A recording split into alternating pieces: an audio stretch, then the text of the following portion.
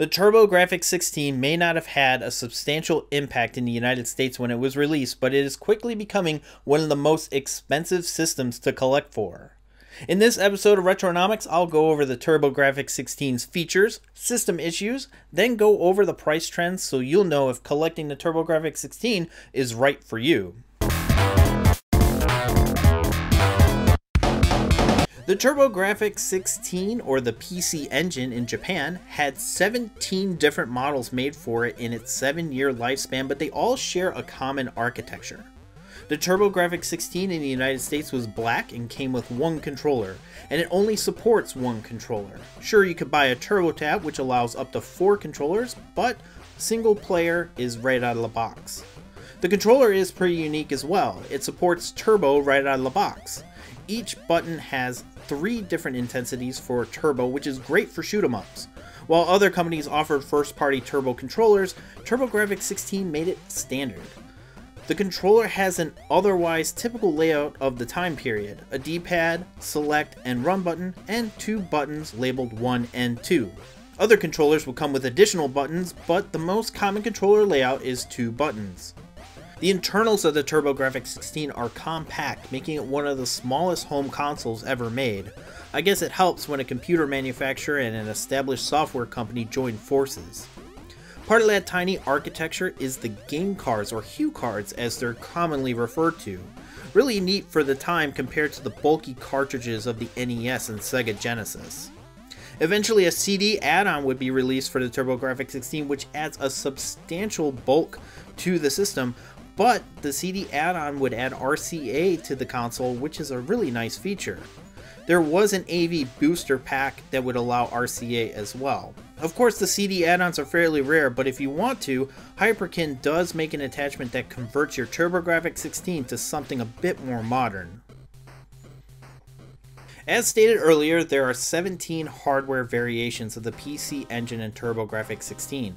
In the US, there were only 4 variations the base TurboGrafx 16, the CD add-on, a Turbo Duo, which is a combination of the TurboGrafx 16 and CD unit, which is a much better unit and really sought after by collectors.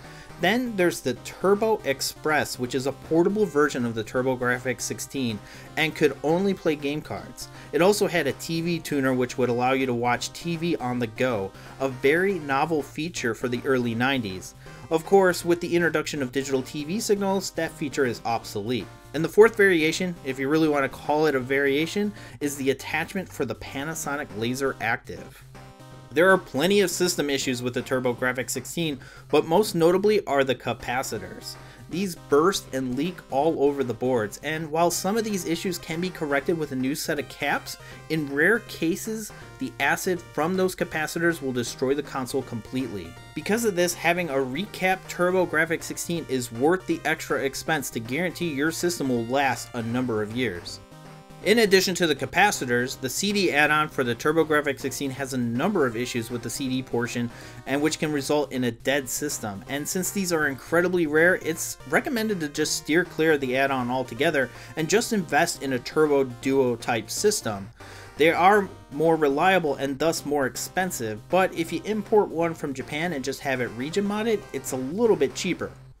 A total of 138 games were released in the United States. Compare that to the 650 released in Japan, you can see how well the TurboGrafx 16 fared in the US. As a result, a complete in-box set will set you back a whopping $20,000. While the majority of these games are under $100, those in the minority make up the bulk of the cost of the collection the cheapest game being TV Sports Football and Keith Courage, which was a pack in title, and the most expensive being Magical Chase at $5,700. Now, usually in these Retronomic episodes, I do an overview of the top 15 expensive games, but this time I checked out the 5 games from the bottom, 5 games from the middle, and 5 games from the top to see if there's any correlation on whether cheaper games are rising faster than the more expensive titles. TurboGrafx 16 prices were the highest in 2017, and now they're starting to cool down and stabilize. The highest five games of the TurboGrafx 16 are all over the place, but one trend is that they seem to be stabilizing, trending down. Magical Chase has had bumps around January each year, but go on a downward trend for the rest of that year. It has lost 50% of its value from 2017. Dynastic Hero has really no volatility, mainly because there's about one sale a year. The one sale dropped the price for a month and then it popped right back up. Legend of Hero Tonma, that price has dropped from 2017, but only 5% of that value has been lost. And prices haven't been near 2017 levels since it seems to be trending down, but not by much. Super Air Zonk for the Super CD has gained 2% of its value after a huge spike in May of 2018, but that bubble does seem to have popped and the game is back down to 2017 levels. Bonk 3 has lost 20% of its value from 2017 and does seem to be stabilizing. The mid-range games grew most in 2017, but the prices do to appear to have been stable throughout 2018. Bonk's Revenge was stable up until a huge bump in September of 2018, but those prices are coming right back down, so the game has only gained 0.3% from 2017. R-Type had a similar rise in earlier of 2018, but it ended up losing 7% of its value compared to two years ago. Final Zone 2 lost 53% of its value, but it's remaining stable. And Prince of Persia is rising 30%, but not really changing in price for 2018, so that's stable as well. And then the lower price games. The only game of note is Keith Courage, which was a pack-in title, and while that game did increase in value by 3%, Power Golf lost 160% of its value in that same time frame. I doubt that you'll see any of these games crack 20 bucks, so you could probably focus on the more expensive games and then work your way down. 138 games in this library is one of the reasons why these games are so expensive in the United States, but a bigger issue is that the majority of these games were never released outside of the TurboGrafx 16. Sure, Bonk's Adventure was ported to the NES, and Castlevania Rondo of Blood was also re-released, but if you're looking for physical re-releases, you're not going to find a lot. The closest the TurboGrafx 16 ever came to being relevant was the release of 74 games on the Wii Virtual Console, which will shut down at the end of January.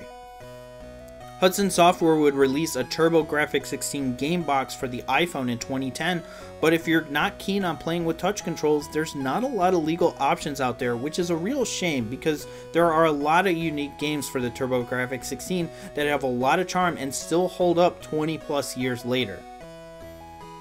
Since the TurboGrafx 16 was pretty much a failure in the United States, it stands to reason that a lot of games are considerably rare and expensive. Region lock prevents imports from playing on local machines, but emulation is probably the best option if you don't have deep pockets. The Turbo EverDrive allows play for any HuCard and is available for $78.99. But if you really want the full TurboGrafx experience, including CD games and RGB out, consider the Super SD System 3.